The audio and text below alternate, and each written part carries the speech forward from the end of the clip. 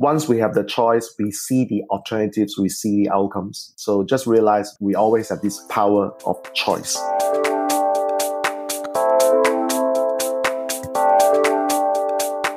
You are now tuned into the MECE Muse Unplugged, a pop up podcast variety show helping consultants along their journey to greatness with your host, management consultant, author, and blogger, Christy Lindor.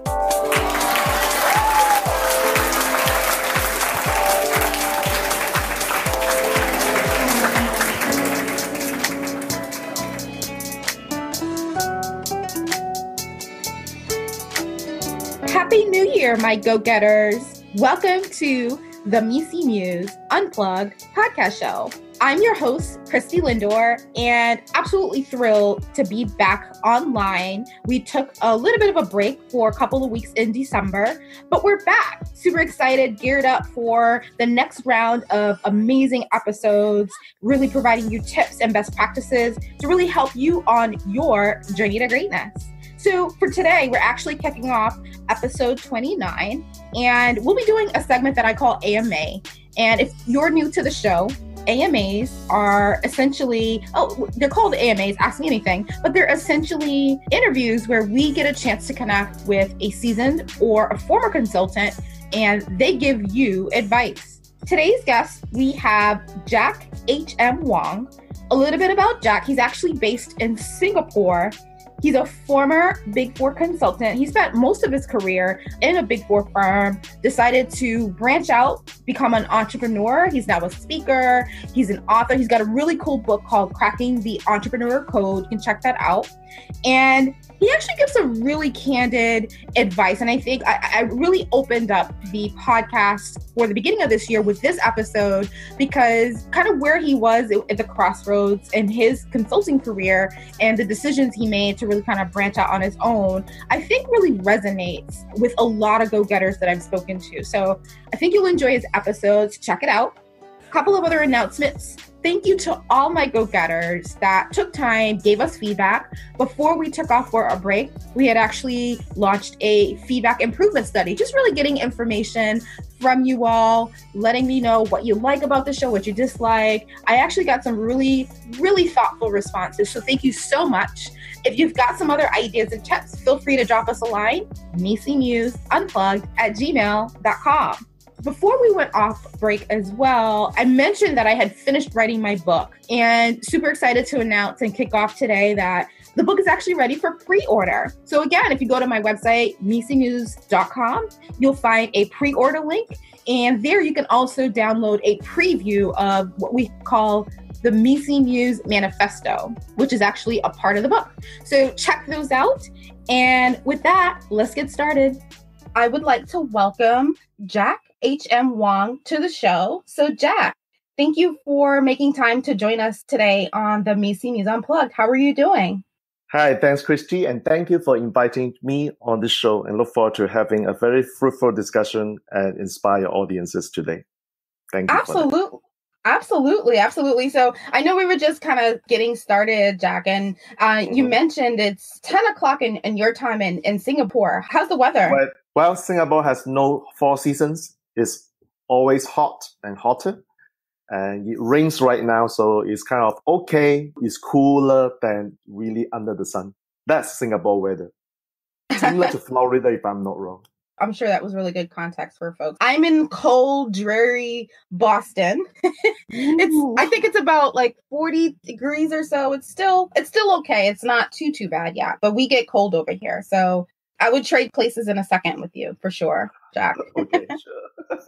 well, I guess before we get started with today's interview and discussion, if you could maybe take a moment to introduce yourself to the go-getters of the MECE Muse Unplugged. Okay, sure, sure. So my name is Jack, and I am actually from Singapore. In case Singapore, somebody is asking where Singapore is, it is the center of Southeast Asia, about 20 to 30 hours flight from Boston. And uh, essentially, I used to work in a big four accounting firm and I spent almost 11 years working there. And basically, at one time, I decided to jump off the plane and start my own consulting firm because enough is enough. There are lots of reasons why, but I'm not going to bore your audiences to that. Basically, uh, life has never been the same since I left the corporate world because every single day is an interesting day as an entrepreneur. And the clients that, uh, I, that I'm having are constantly giving me challenges. And I think we'll talk about some of these challenges later on. And again, it's interesting journey, I must say. So thank you for that that context. Jack, maybe you can take a moment and just talk a little bit about your business and what made you decide to go into it? I, I was taking a look at your website. You have such an inspiring story. Maybe you can just share a little bit more context for us. Okay, so basically, I work in a big four accounting firm, and that was actually my first job. At my time, I, I know it's not something that millennials are very used to. At my time, basically, there's no issue about getting a job. And in fact, I had no, I had five offers from then the big six accounting firms. But having said that, uh, when I joined my first employer, I was promised a couple of things. Number one, if you work hard, if you bill your clients on time, collect the money from them, you get your annual promotion, annual increment, and in 15 years down the road, you become a partner of the firm. Sounds promising, and I, I was sold with that idea.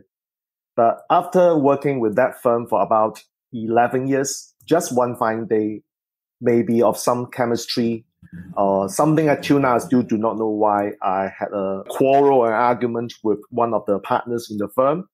And what happened is that as a result of that quarrels, in the next six months, I actually had been let go of the firm. So that is my, the end of my 11 years lifetime span in the accounting firm.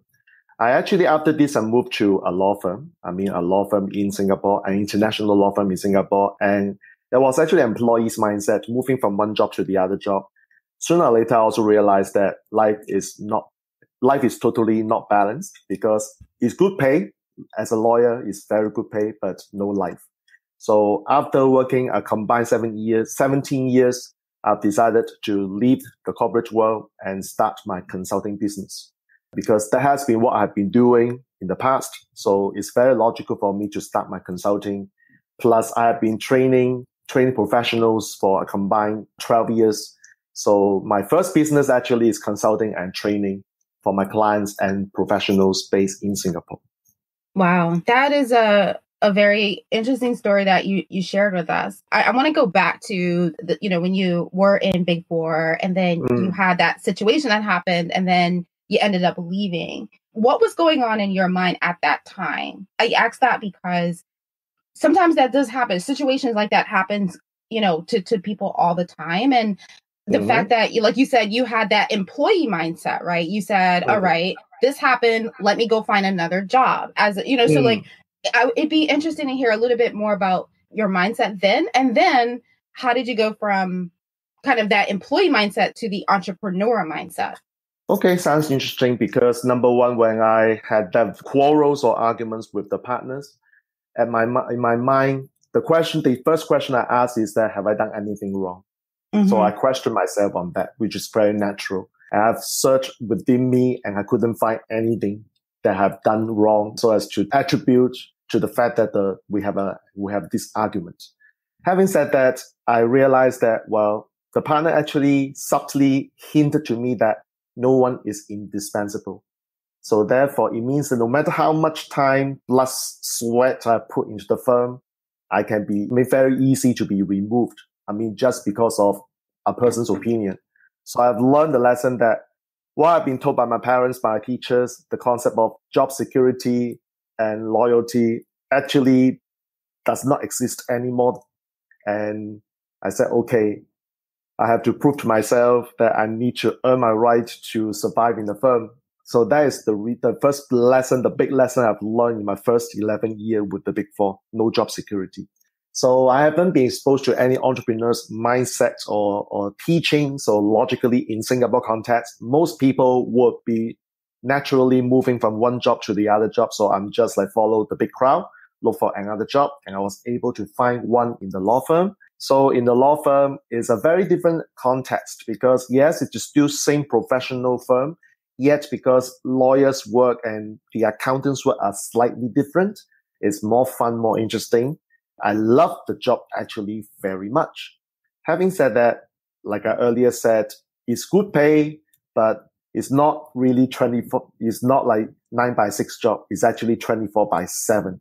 It's not 24 by five. It's 24 by seven. Mm. And I work around the US clock because the firm is an American based law firm. So I remember one day, even there's a public holiday in Singapore, I was still working. And wherever I go, let's say for a holiday, my partner will ask me, Jack, are you able to access to any emails or BlackBerry? During that time, there's no iPhone, so BlackBerry, are you able to be accessed to that? So basically, it's like my partner wants to connect with me wherever I go. So I only worked in this law firm for five, five and a half years. And I said, enough is enough. I want some life balance against the work.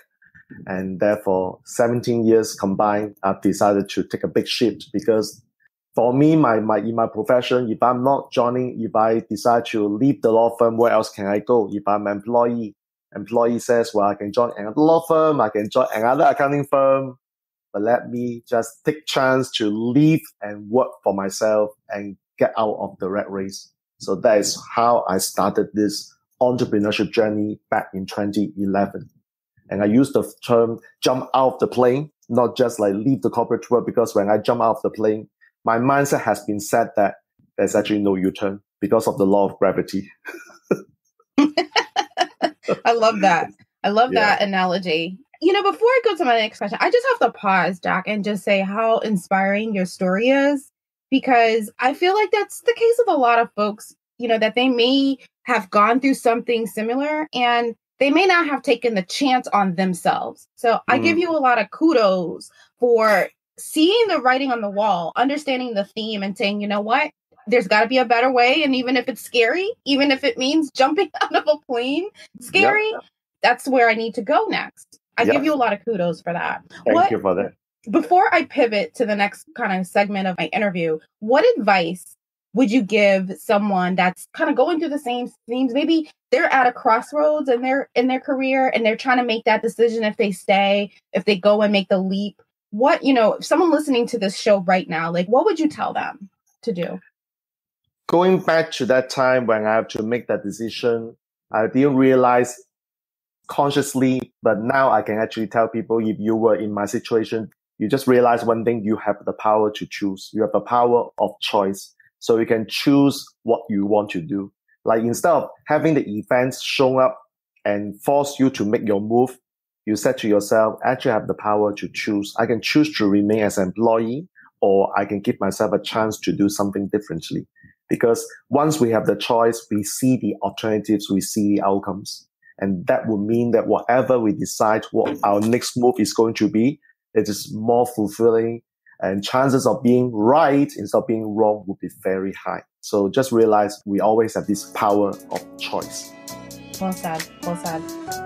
Today's episode is brought to you on behalf of the MECE Muse, 100 plus selected practices, unwritten rules, and habits of great consultants, a book by Christy Lindor.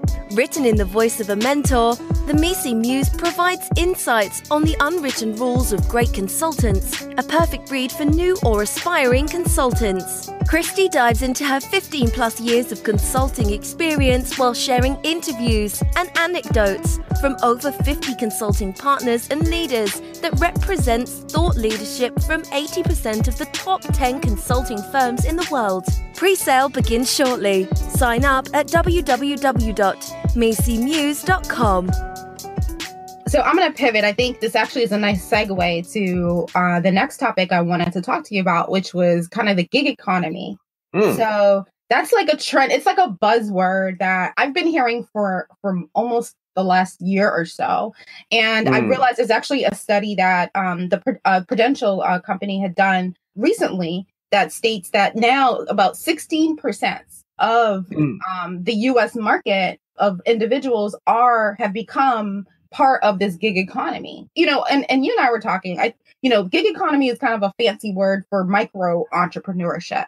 So yeah. given that, Jack, you know, mm-hmm. you've made that leap. What's kind of your definition of the gig economy? How do you see it kind of unfolding in your part of the world? Why is it important for, for consultants to be aware of it? Well, again, the concept of having a choice suggests that I can work for a company as a consultant because I have over the 17 years developed a skill set. My skill set is actually based on the tax law that happens in international and I'm able to analyze very complex tax problems for my client by giving them very simple solution. So that is actually my core skills, which I've developed in the corporate world. So if I am a consultant, if I decide to move on and get out of the present job, like I said earlier, I can make a choice. I can use the same skill set and work for another company, remain as an employee. Or why don't I give myself a shot? Like I can utilize this skill set and take into account the fact that I don't need to take the pressure by another employer. I'm now the owner. So basically I can utilize the skill set to be a consultant, to set up my business, a consulting business to help other clients. So again, it's actually the power of choice that I'm mentioning again and again. So with that, Jack, how can a consultant today prepare to to make that switch? If they're thinking about doing that, what would be like the one or two steps that you would you would recommend that they do given your your journey? Sure. Number one, the mindset is very different because the level of responsibility as a business owner or entrepreneur is very different from an employee. Because if I screw up on something as an employee, I can always fall back on my boss and my boss will take the heat from the client. So I'm not, I don't need to take 100% responsibility as an employee, so to speak. But now if I'm the, I'm my own boss, then I have to take 100% or sometimes even more than 100% of responsibility to make sure my client is happy because if not, then I won't get paid. So the mindset of taking 100% responsibility is very mission critical. That's number one. And number two, knowing the skill set or having the experience of applying the skill set is very important. But once I jump off the plane and start my own firm, other skills are coming in. And I can't say, wow, because I used to work in a big four accounting firm as a consultant and I'm so skillful. And therefore, when I go out and do start my own firm, I will definitely get people on board or get new clients on board. Unfortunately, the truth is, is not the case because what happened is that I still need to learn other skills. For example, just to just name, just name a few, marketing skill is one.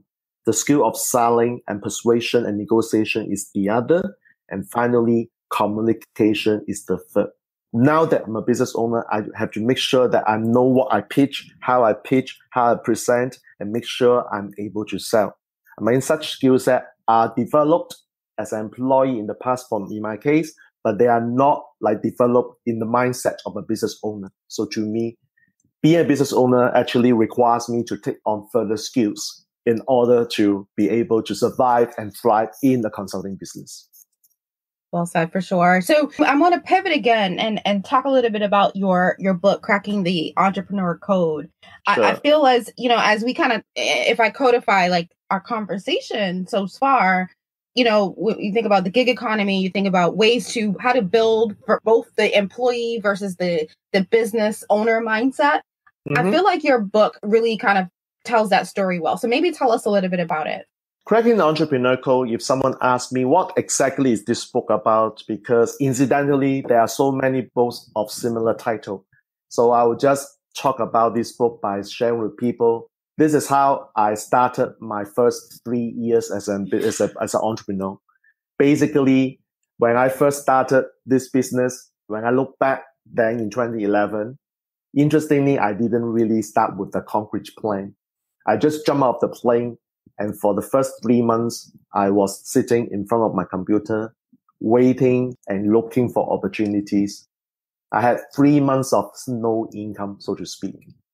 So basically what this book is about is how I transcend from that three months with no income and always looking for new clients to the third year. By the end of third year, I was able to achieve a six figures. So what are the key lessons that I've learned? What are the seven principles that I have come up with to summarize my first three years of entrepreneurship experience?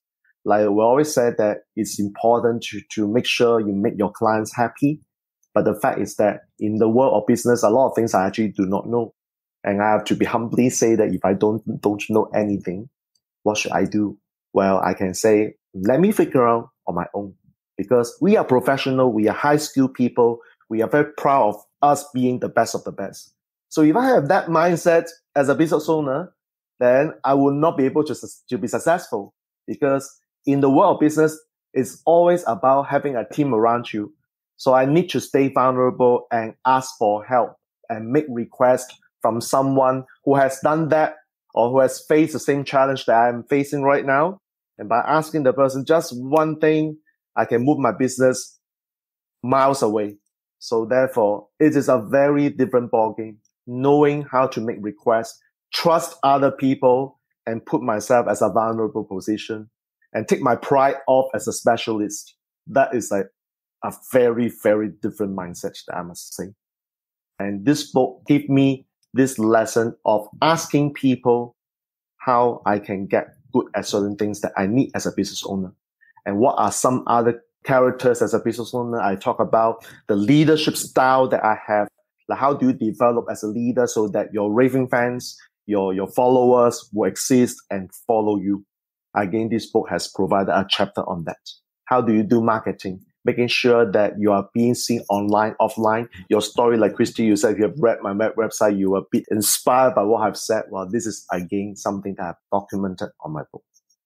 I really like the point about vulnerability. I think okay. that's sometimes what what holds people back, Jack. You know, mm. they're they're they're kind of they're scared of putting themselves out there because putting yourself out there is scary. You have to be a little vulnerable in order to make it work. But to your point, it does mm. help you take things to the next level. So I, I really like that. And in Go Getters, we're going to put all the links to uh, to Jack's book and information so you can check it out for yourself. Really, really cool. So, Jack, any last remarks uh, that you want to share in today's show? The last remark, usually, I would say to people who are in my shoes, who have who are now who may be facing my problem right now, is never give up. Don't just quit and throw the towel because there will always be the universe makes no mistake of giving us a challenge. So see the challenge as an opportunity and ask yourself this question. What are the choices that I can make based on the existing challenge? Stay cool, remain high intelligence, low emotion. You'll be able to see many opportunities around that. And that's why this economy right now is so fascinating, in my opinion. Awesome. Well, thank you so much, Jack. This is such a great, it's just great to hear your story and hear your point of view. How can people reach you if they want to get a hold of you? What are some, um, some of your websites or, or social media handles? I have a very interesting Facebook fan page, Jack HM Wong Official. I mean, which I posted, which I regularly post stuff there, videos, post, I don't anyhow post things. Whatever I post there is meaningful about is is is relevant to businesses or entrepreneurship. My book, Cracking the Entrepreneur Code, I mean, for your listeners, well, you can actually go to crackingentrepreneur.code.com, key in your email address, and you are able to obtain a downloadable version of my book if you like. And finally, jackhmwong.com is my website, which I maintain certain blog posts, and also some of the other interesting stuff. So you can always check it out there. Awesome. Awesome. And again, we'll we'll share those links on our show notes. Thank you so so much, Jack. This was fantastic. Thank you, Christy. Thanks for having me again. Absolutely, absolutely. And thank you, my go-getters, for tuning in today. This is Christy Lindor signing out of the MECE Muse Unplugged pop-up podcast. Here's to your journey to greatness. Tune in every Friday for a new episodes syndicated on iTunes, Google Play Music, and many more. Visit www.mecemuse.com for more information.